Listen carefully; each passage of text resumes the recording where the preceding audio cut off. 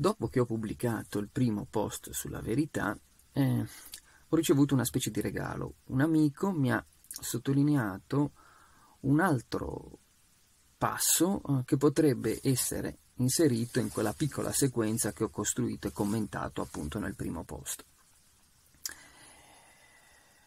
Perché ho costruito questa sequenza? Beh, ora lo, riposo, lo posso riprendere in breve. Il, punto, il, fatto è che la verità è una questione complicata eh, e più si è iniziati la filosofia, più si è consapevoli della difficoltà di trattare questo problema. È come se posso di volerlo chiamare un oggetto, un oggetto che non si sa bene come prendere. E quando non si sa come prenderlo, si cercano dei punti di appoggio, delle, delle entrate o, se vogliamo, degli oggetti più piccoli, più maneggevoli che possano essere i punti di partenza, ecco, qualcosa di più maneggevole lavorando sul quale si accede, si può incominciare a riflettere sul problema complesso, eh, antico e difficile della verità. Ad esempio Austin, filosofo che citavo l'altra volta e che riprenderemo nella, anche nel prossimo post, dice che bisogna partire dai, dagli usi linguistici eh, delle, della parola, in realtà non dice della parola verità ma della parola vero. All'inizio lui mh, evoca eh, la maniera in cui è impostata la riflessione sulla verità in filosofia. È una maniera in cui, eh, posta la domanda che cos'è la verità, domanda socratica, ci si interroga facendo riferimento alle categorie aristoteliche, quindi ci si chiede se è una sostanza, se è una relazione, una relazione di corrispondenza, se è una proprietà, eccetera, eccetera. Ecco, Austin è come se volesse fare un passo indietro rispetto a questa tecnicizzazione del problema, con tutte le presupposizioni che porta con sé la costruzione di una di una problematica tecnica e dice facciamo un passo indietro e incominciamo a, a, a eh, considerare gli usi linguistici. Come già dicevo è una mossa che ha qualcosa di aristotelico, anche Aristotele in molti casi parte da quelli che chiama i legomena, no? ecco, i, eh, ciò che diciamo, eh, ciò che diciamo di un, di un, certo tema. Talvolta i legomena sono affiancati dai phenomena, cioè da, dai dati che potrebbero essere esplorati con una metodologia diversa, una, una sorta di indagine naturalistica, eh, ma in rapporto ad altri problemi i legomena, ciò che diciamo, è una parte importante degli stessi fenomeni, è una parte importante delle evidence, dei dati da vagliare, delle, delle, delle prove, delle evidenze da considerare. Ecco, non, non ci sono prima i discorsi e poi finalmente accediamo ai fatti. Ecco, in rapporto ad alcune problematiche, tra i fatti da considerare ci sono proprio le distinzioni che emergono appunto negli usi linguistici e questo è uno dei punti su cui insiste Austin. Quindi dice, cominciamo a considerare come usiamo la parola vero per provare ad accedere a questa, trovare un'altra strada, una strada in qualche modo più fresca eh, più, meno compromessa con posizioni ricevute e non riflessivamente esaminate per entrare appunto in questa, in questa antica questione. Ma si potrebbe anche, ed è sempre qualcosa in qualche modo autorizzato dal metodo di Aristotele, invece che partire dagli usi linguistici che facciamo tutti, eh, da, da ciò che diciamo tutti, si potrebbe anche partire da ciò che hanno detto alcuni, cioè diciamo così dalle opinioni autorevoli, quindi invece di cominciare come ha fatto Aristotele, diciamo così dai legomena, da, da, ciò che diciamo, partire da ciò che ha detto Aristotele, o da ciò che ha detto Hegel, da ciò che ha detto Kant. E, e, e anche questa eventuale posizione resta pur sempre più circoscritta, più maneggevole, per poter poi, discutendola, attraversandola, criticandola, provare a fare un discorso di più ampia portata. Ma non solo i filosofi possono stare in questa posizione, può essere anche che si comincia da, un, da, un, da, un, da una poesia, da, un'opera letteraria, cui, o da un passo di un'opera letteraria in cui ci sia una considerazione sulla verità che si ritiene possa fare da via d'accesso, perché ad esempio elabora, mette da voce, mette in parola un'esperienza significativa per ragionare sulle verità. Come dicevo nell'altro post, non è detto che l'esperienza di produrre un asserto banalmente vero come questo muro è bianco sia l'esperienza più significativa per cominciare a ragionare sulla verità. Si potrebbero anche prendere, considerare più significative altre esperienze, ad esempio quelle a cui dà voce un eh, poeta. Eh, pensiamo ad esempio a quel famoso verso di Oden, dice la verità vi prego sull'amore, no? Ecco, lì si potrebbe cercare di capire qual è il significato di verità che è implicito nel fare questa preghiera. Eh, difficilmente diremo che è produrre semplicemente degli asserti corrispondenti alla realtà sull'amore, no? È dire l'essenza profonda dell'amore, non semplicemente qual- una qualunque cosa che è vera dell'amore, ma dire quella che ne esprime il nucleo profondo. Allora la verità si associerebbe al nucleo profondo, a ciò che ti fa accedere, ti fa comprendere, non semplicemente ti fa produrre un asserto corretto, ma anche ti fa comprendere la cosa. Vabbè, insomma, queste sono diversi possibili, diverse possibili vie d'accesso. Allora, ehm, la, la, alla fine la cosa che io ho scelto di fare è stato di considerare tre luoghi in cui viene citata la domanda di Ponzio Pilato ehm, la domanda di Ponzio Pilato che viene riportata nel Vangelo di Giovanni, che fa parte dell'interrogatorio di Gesù, dopo che Gesù ha detto io sono qua per testimoniare la verità, Ponzio Pilato dice che cos'è la verità. Ora, questa domanda che ha l'apparenza, che, che è a livello della frase assolutamente tipica della filosofia, ti esti, ti esti la eh, aletheia, no? che, eh, quid, eh, quid est veritas, eh, è, la, è, la, domanda mm, socratica, mm, è curioso che da di, diversi filosofi la evochino facendo appunto riferimento a quel passo del Vangelo.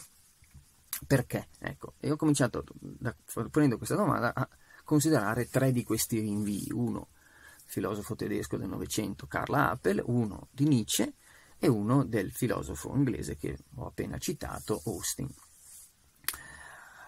Ebbene, questo amico mi ha eh, sottolineato che anche un filosofo italiano in, una, in un suo libro ha eh, citato, evocato la domanda di Pilate, Pilato. Eh, naturalmente io non pretendevo di aver esaurito, eh, la, la, la, di aver esaminato tutti coloro che hanno posto questa domanda, ma questo amico ha capito benissimo questo e non ha preteso di, nemmeno lui di completare la lista, per esempio anche, anche Francis Bacon cita questa, questa domanda. Dato di modo, questo amico mi ha citato questo passo mm, di un filosofo italiano che si chiama Romano Bacchin.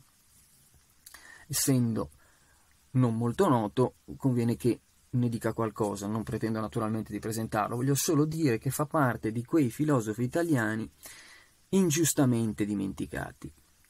Dico ingiustamente eh, per una ragione, diciamo così, che si può formulare brevemente. Fa parte di quei filosofi che hanno per tutta la vita continuato a lavorare su due o tre questioni assolutamente fondamentali stando alla tradizione filosofica e continuando a lavorare in un corpo a corpo mai finito, quindi eh, esplorandole, eh, approfondendole sempre di più, confrontandosi con i contemporanei che hanno ad esse dedicato attenzione e a maggior ragione ai classici che le hanno elaborate.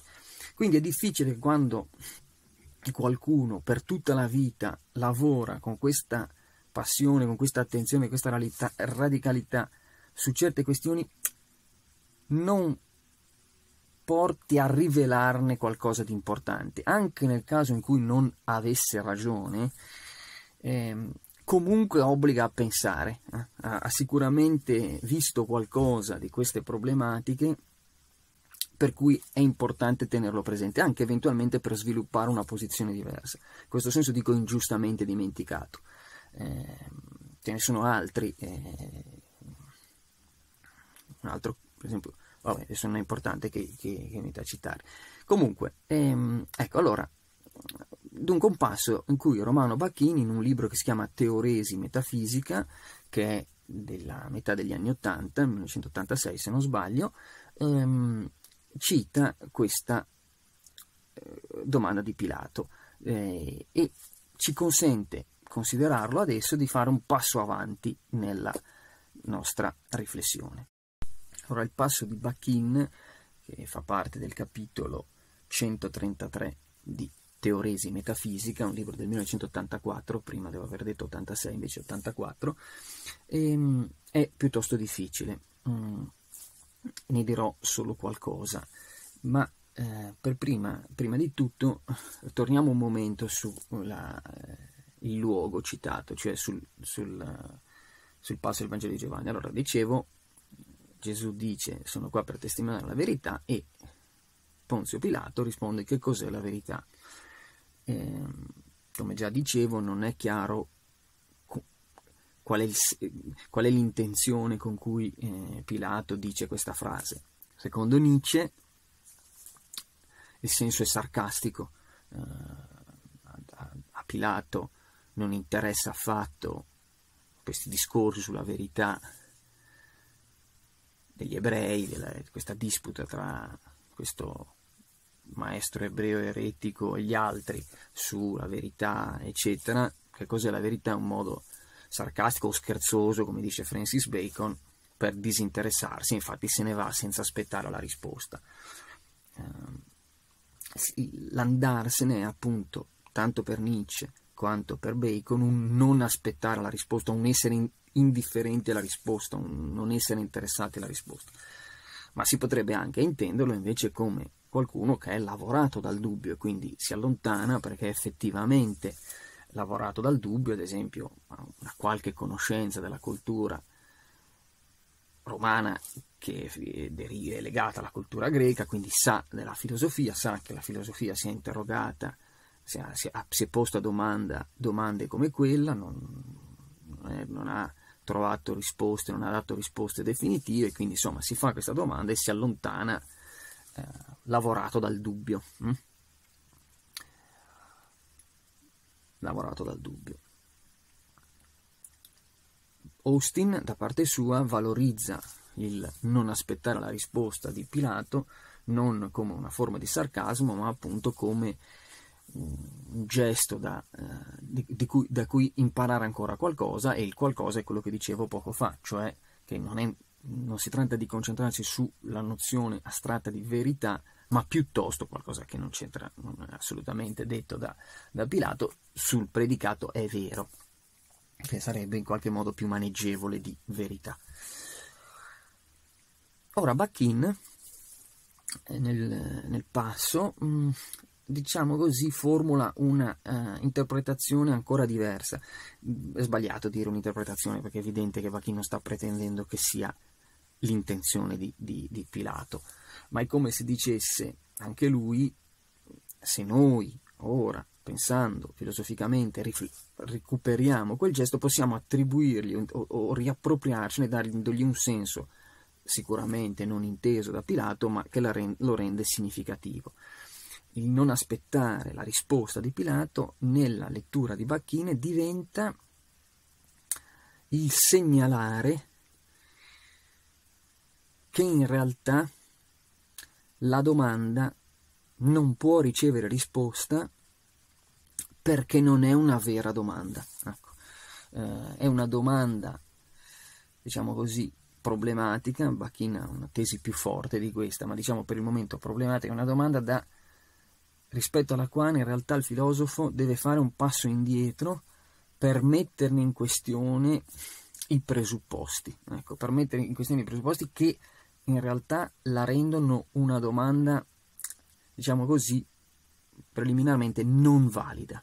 Ecco. Allora, è interessante questa mossa di Bachin. Diciamo, facendo un lavoro speculativo, lui valorizza il fatto che non trova risposta come una, una, una, un sintomo del fatto che in realtà quella domanda non può trovare risposta perché ha qualcosa che non va. Ecco, diciamo a livello ancora prefilosofico, ha qualcosa che non va.